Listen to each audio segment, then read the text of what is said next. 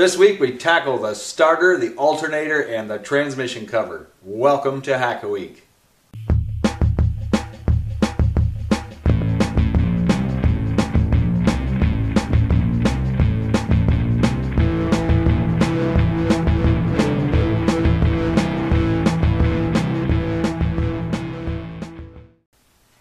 Well, last week we got that cylinder head all wrapped up other than the valve cover. This week we're going to move on to the alternator. We're going to test the alternator. We are going to install the windings into the housing. We're going to take the starter apart. We're going to look at the commutator strips in there and the motor, clean those up, put it all back together, and we're also going to get the final drive seal in and put the transmission cover on. Let's get started. First up, final drive seal goes right here where the sprocket goes and uh, probably would have been a bit easier to put on when I was putting the case halves together but on this particular engine I can slide it over the shaft and tap it into place. What I'm going to tap it into place with is a piece of 2 inch PVC pipe. You can see that it's about the same diameter as the seal which is really important. You don't want to go banging on the seal with a punch for one, you can put it in crooked. Two, you could dent it and ruin the seal and it won't seal oil properly. So I cut this piece of PVC pipe to about six inches long. I've got a cap that's going to go on it. And if I just put that cap on there, tap it in place with a hammer, then what I can do is put it up here against the seal, hit it with a dead blow, and be able to punch it into the engine there handy tool to hang on to later if I need to change the seal in the bike because I can still reach where that seal goes. So let's get that installed. So the seal goes on here and this spline shaft is a little bit rough, has some sharp edges.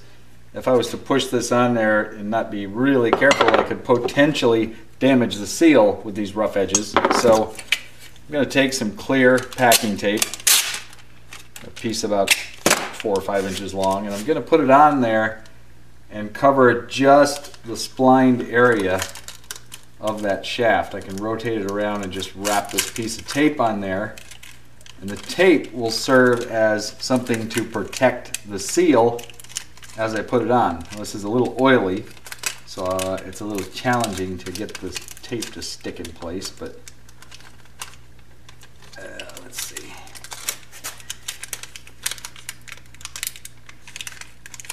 Okay, we got it stuck to itself. There we go. So the reason I don't put it on all the way is I need to pull it back off later. I don't want to put it on the area where the seal actually hits against that shaft. You can see here the seal is nice and cleaned up and I'm going to put a little bit of assembly lube on it because as I've mentioned before never a good idea to install a seal dry. You always want a little bit of lubricant on there. I'll put a little bit on this output shaft too. Rotate that around and make sure we cover all of it. So now I'm going to push this on there. Just going to crunch my tape down here to a point a little bit. And if you kind of move it around a little like that as you push it on, it'll uh, slide over all that stuff a little easier.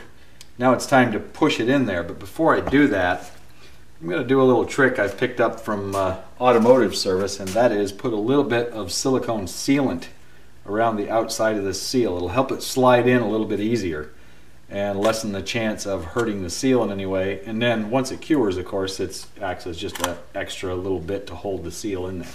Now, you might be asking, why don't you use Honda Bond? You've plastered it all over everything else on this engine. Well, that stuff sets up way too quick for this purpose. Plus, this is a little bit slippery, and it'll help the seal slide in a little easier.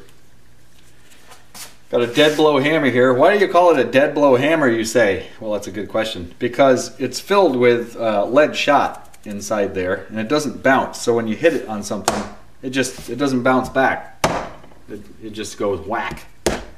And it's uh, a little better for pounding on things that you need to move into place because it doesn't bounce back. So let's get this on there.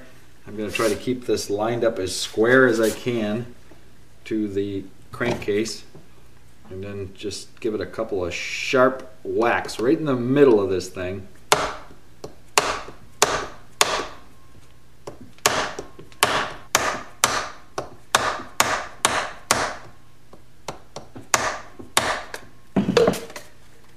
Think that's about it. We are in there. Now we can get the tape back off.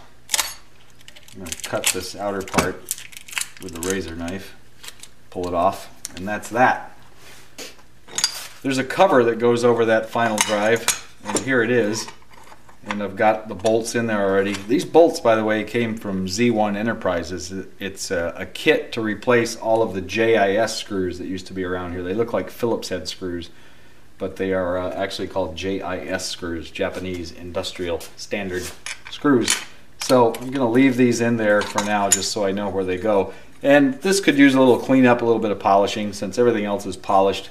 I'm not real big on going crazy on polishing aluminum because it always ends up looking like this after a couple years anyway.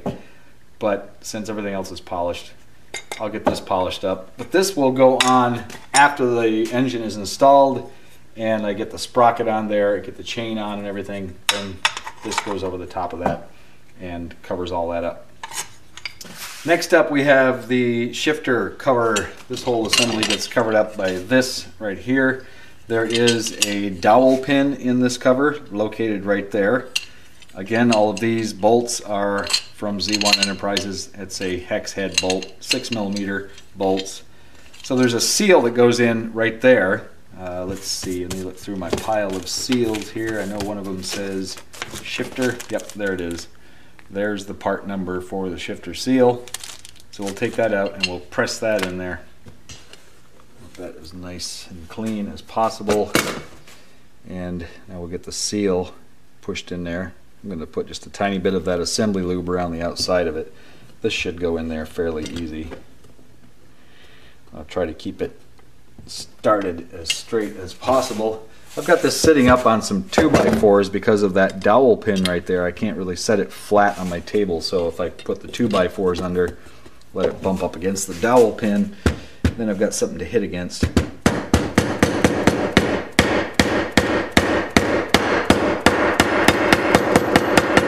Let me just drive it in until it's flush with that surface. That's it. This whole area has oil in it. That's why the seal is there on the shift shaft and you'll see there's a bearing right there that gets oil. So this is all got to be sealed up with a gasket. So I'm going to clean off any little bits of Honda Bond that may have squished out right there on the seam. And you guessed it, I'm going to put a little bit of my gasket material that I love to use on there. A little tiny bit of the Permatex aviation gasket really not putting much on here at all just a thin layer. I like to use it just as a, a, little extra backup make sure I've got a really good solid seal. Now I'll put the gasket onto the cover. Now we got the two alignment dowels there one goes there one goes there and we're gonna slide this on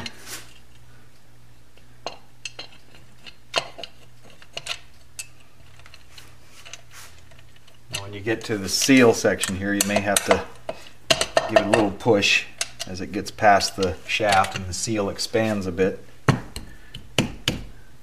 There we go. Now I'm going to run all these in till they just bottom out.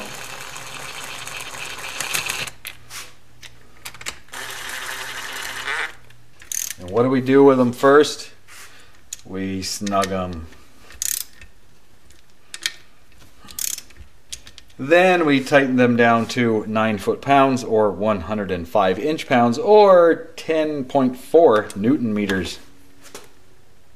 Take your pick depending on what part of the world you're in or what mood you're in or how many beers you've had. We're going to move on to the starter motor now. We're going to pull this apart and check out the brushes and the commutators on the motor in here. We're going to put this in the vise. There's two long screws that hold everything together. And what we're after is to take these screws out and remove this end right here. This is where the brushes are. They're underneath here.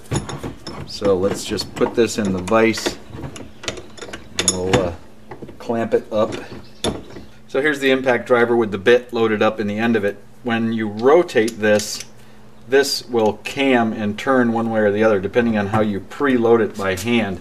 So you put it into the screw I want to rotate this way So I'll, I'll go ahead and turn like that just a little bit.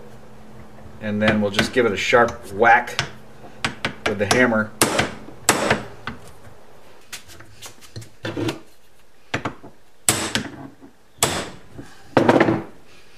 That one broke loose okay. Okay, we're going to turn this, load it up, give it a whack.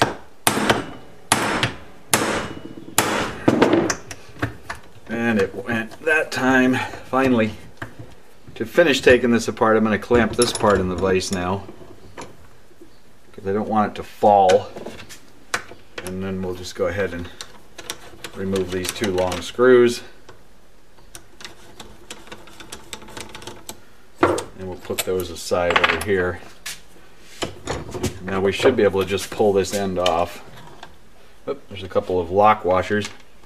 Put those aside.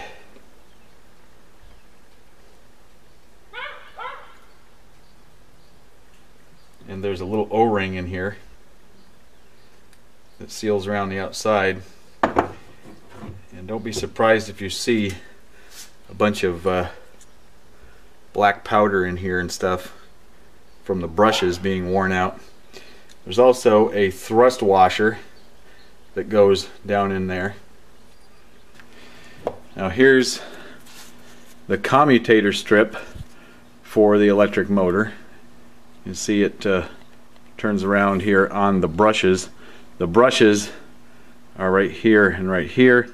And there is a specification for those uh, if they're less than five millimeters measured from right there to right there it's time to replace them. And I can tell already just looking at those that they're just fine. They're uh, definitely not worn down to five millimeters yet. Now we can clean up the commutator strip okay we're going to pull this apart the rest of the way so that we can clean these commutator strips but I want you to see something over on this side there's a notch right here in the casting and you'll see it lines up with a little score mark right here on the housing for the windings. Make sure that stays lined up when you put it back together. Just take a note of where it is because that way everything lines up where it should with the wire coming out of the side here. So this just pops out like that. And you'll see the brushes popped out of their holders. But that's okay because when we put it back together we'll just push those back into place. And the brush holder is now a little bit loose here. It lines up on some little notches. You'll see right there, there's a notch. So when you put it back together, just make sure it's like that. We'll set that aside for now. So we're going to clamp this in the vise now to work on it. We'll clamp it right here by the housing on the end. Let's not go too tight. And that way I can still rotate this. That's the reason I want to put it in there like that. Now I can clean this up a little bit with some sandpaper Got some 200 grit Wet-O-Dry here. I'm just going to take that and go like that with it. That's all it's going to take, just a little bit of that. The other way you could do it is to just hold this and just spin it by hand.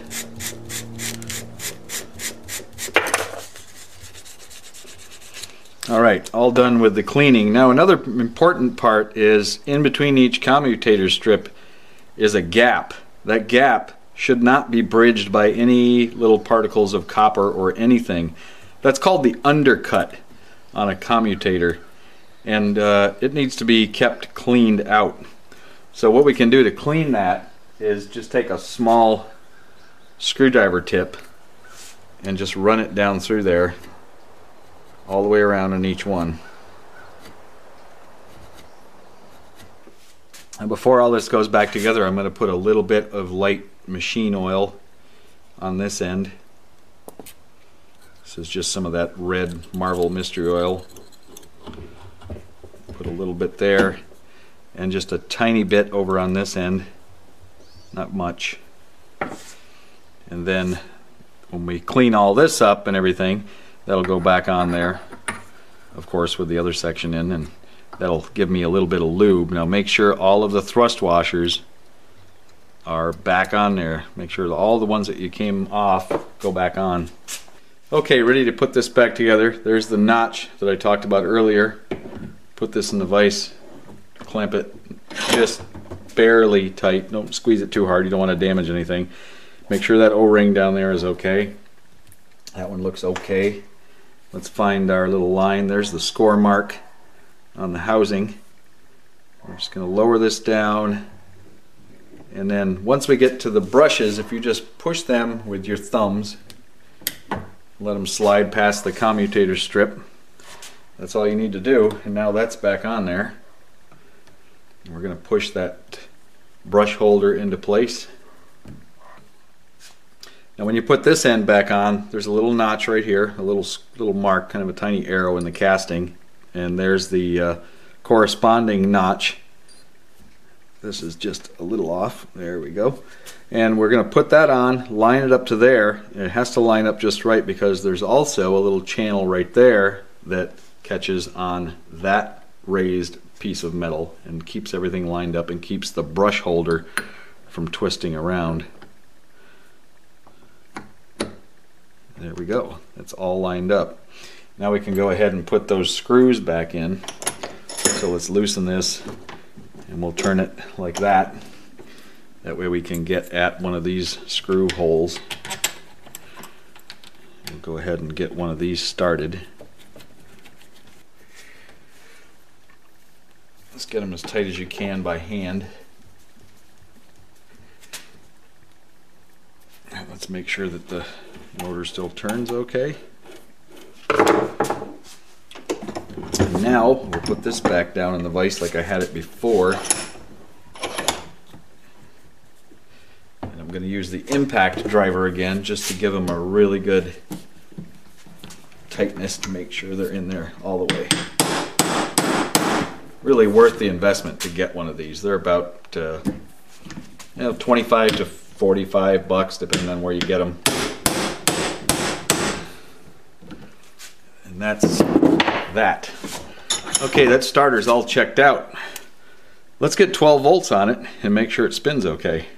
So this is gently clamped in the vise. I've got two leads here from a 10 amp battery charger. Let's switch that over to 10 amps.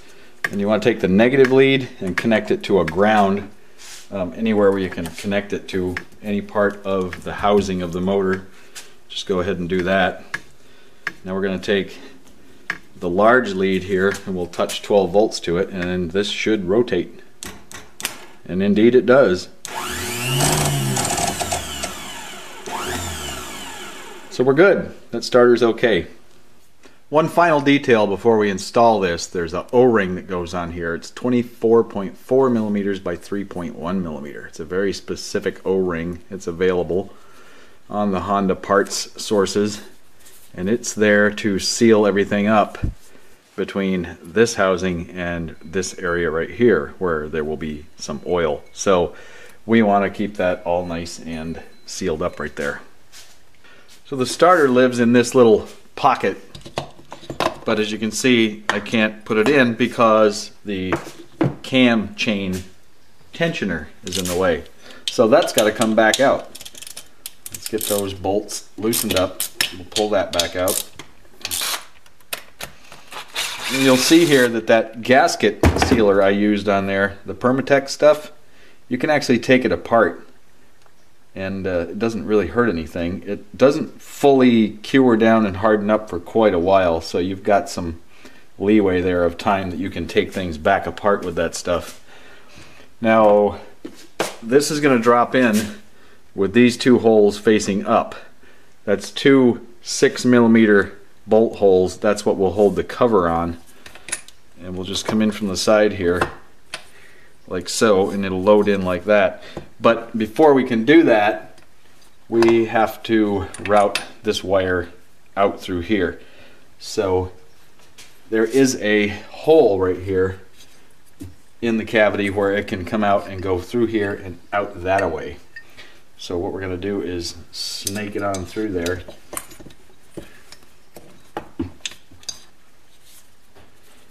And we'll just pull that on through. And you'll see it'll kind of end up where it used to be. Kind of has a memory in the bend of the wire and everything. So there it is. Now let's see if we can get this. Ah, it's got me. we can get this thing down in there. Pretty tight fit.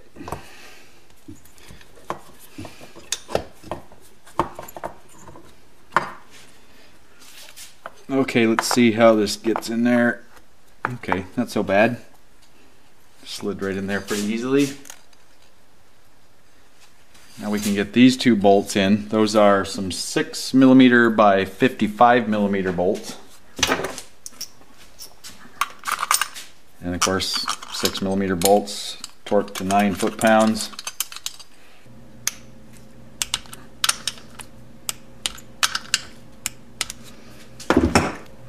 So we'll leave this like open for now. There's a harness that goes right here. It's the oil pressure switch harness and it will go in here and the wire will route over here and come out right here with everything else. But for now we're going to leave that off. We're going to leave the oil pressure switch off because that's where I'm going to hook up a gauge when I crank this motor over with the starter and uh, check the oil pressure. So right now I'm going to put the cam chain tensioner back on. Usual drill on that. We'll tighten those up to 9 foot-pounds. Now we're going to come back over here and we've got a reduction gear that's going to go between this starter gear and the starter itself. And once again, go online and print out the parts breakdown and uh, it'll show you how everything goes together. This is the parts breakdown for the starter motor and the starter gear. You can see the OP switch on there, all that stuff. Here's the reduction gear that goes between the starter and the starter gear. That will drop in first. There's a shaft that goes into that hole right there. We'll just take that and set it aside right there. We're going to put a tiny bit of assembly lube on this so it has a little bit of pre-lube. We'll put a little bit inside the gear and we're just going to push that in there. Oops, knocking stuff off my bench here.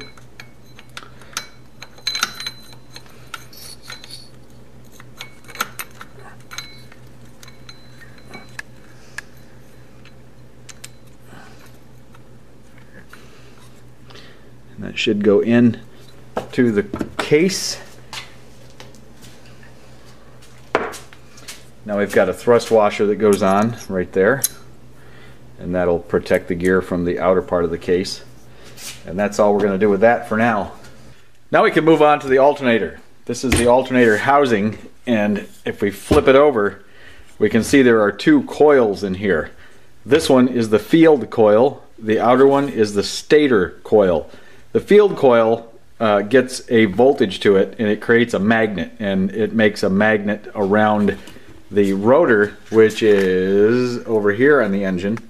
And as this rotor goes around in circles these points right here of metal these metal edges actually disrupt the magnetic flux that's created in here.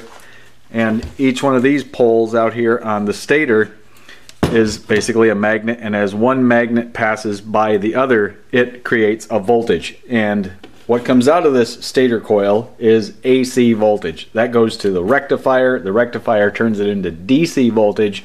Then it goes through a voltage regulator and it charges the battery. The voltage regulator just automatically senses when the voltage is below a certain threshold about 12 volts it actually allows some charge to go to there until it gets to another threshold voltage of maybe 14 or 15 volts and it stops that charge from coming through. But essentially this is an AC uh, producing device.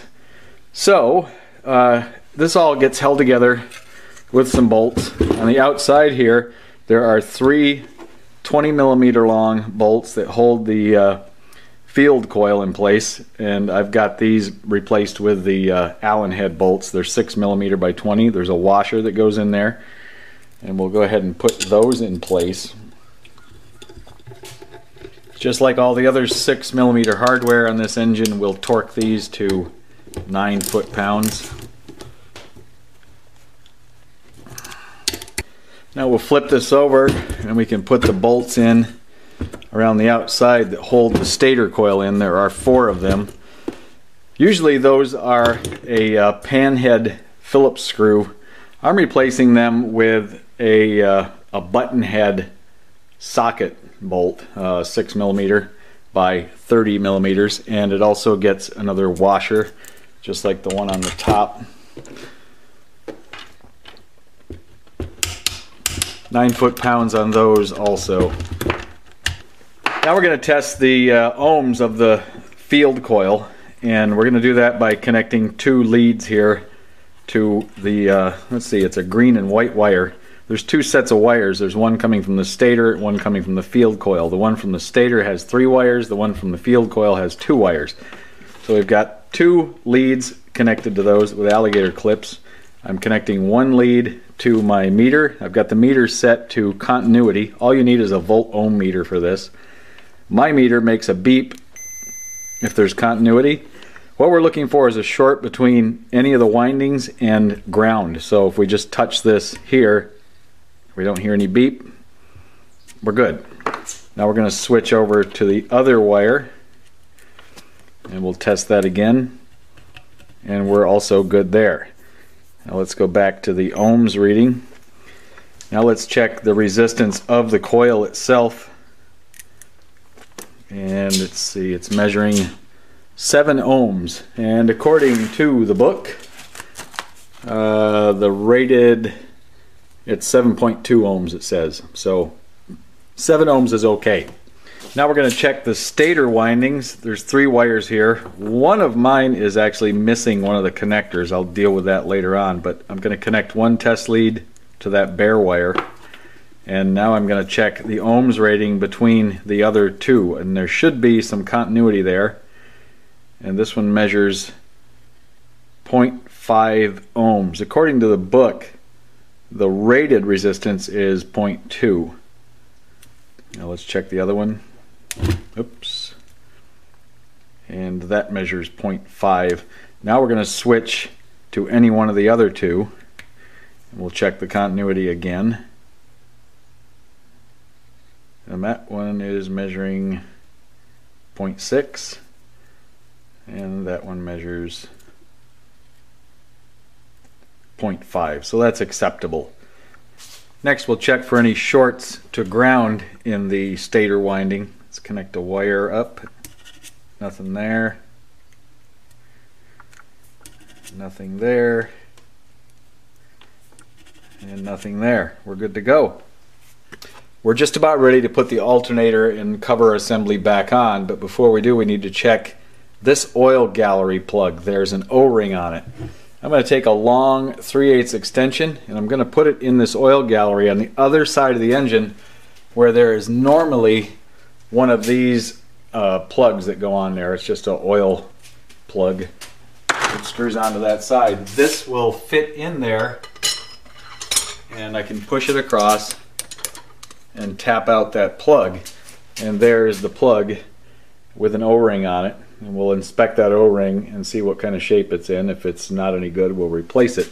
And it looks to me like it's in pretty good shape. It's bigger in uh, diameter than the actual aluminum plug and uh, it still looks pretty round. I think I'll just leave that alone and put it back in. It looks to me like it might have been already replaced by the previous owner. So we're just going to push that back in there and it fits nice and snug. Now we're ready to go ahead and put the gasket on here and put the alternator cover in place. I've got this surface all cleaned up, ready to go. And one last thing to mention, there is a six millimeter bolt right here that holds a little metal clip on, and that's what keeps the wires in place. There's a rubber grommet built onto the harness that squishes down into that, and it's uh, it's a little bit taller than what the edge is, so that it can squish and seal really well. And as usual, I'm going to add my little bit of extra gasket sealer material to this. And we can drop the gasket in place. Some gasket sealer applied all the way around. And a little bit of the assembly lube on this shaft right here just to help it slide together a little easier. Put a little bit there on the gear too, between the gear and the thrust washer. Now we need to route the wires in there and they come out back there the same place as the starter cable did. And it goes in there, out there. So we'll just get it started, poke it on through. And we'll grab it over on this side. There it is. Okay, it's poked through there. Now we can push this on. And at the same time pull the wire through.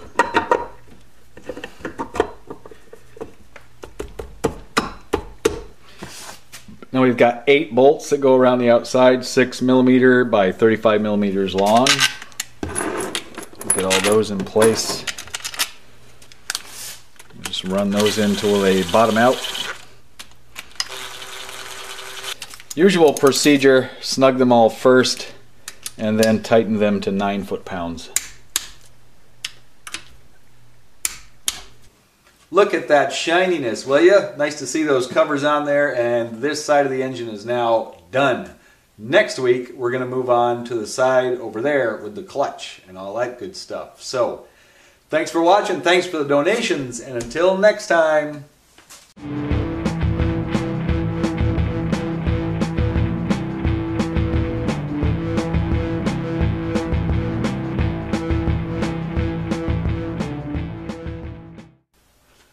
Last week we got the cylinder head wrapped up. This week we're gonna do stuff.